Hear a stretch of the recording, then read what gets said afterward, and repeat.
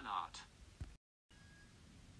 Fan art will only be shown on Weekly Memes Day. You can feature Godzilla series, the Roblox series, and weekly memes. Please listen to the rules for your fan art to be approved.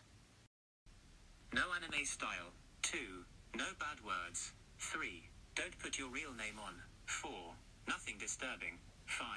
You can only give one art per showcase. 6. Copying each other. 7. You must put a nickname.